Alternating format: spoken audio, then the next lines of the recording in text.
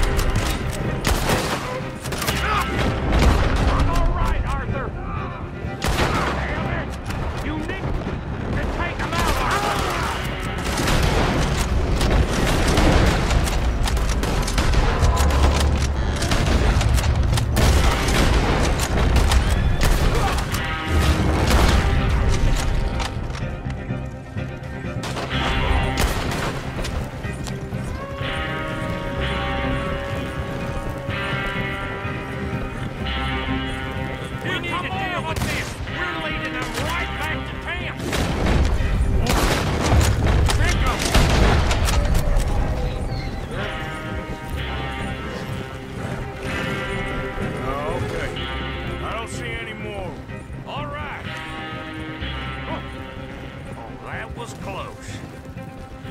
Don't reckon I'm cut out to be a dynamite wagon driver. Killing a bunch of folks so we can rob some dynamite, blow up a bridge. This make any sense to you? It's a distraction. So it ain't meant to make sense. It should to us. It's our plan. You know, I've had it with the Mona.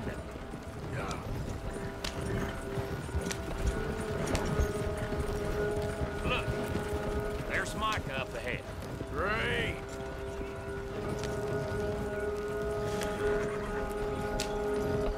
Whoa! So, you got it? We got it.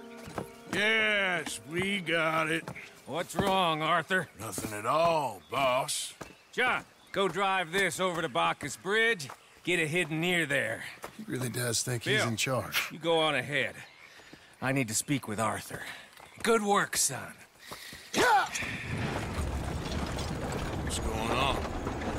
Listen, I know we ain't always seen eye to eye, and uh, you find me irritating and a threat, and I like to annoy you. But right now, I need better from you, Arthur. Okay, Micah. Whatever you say. I ain't the bad guy you think I am, Arthur. But I am a survivor. Stick with me and you'll live. Oh, the bridge is probably a two-man job. You should probably go help Marston. Why don't you? Like I said, Dutch and I got planning to do for the train. There's a big picture here, Arthur. Trust me.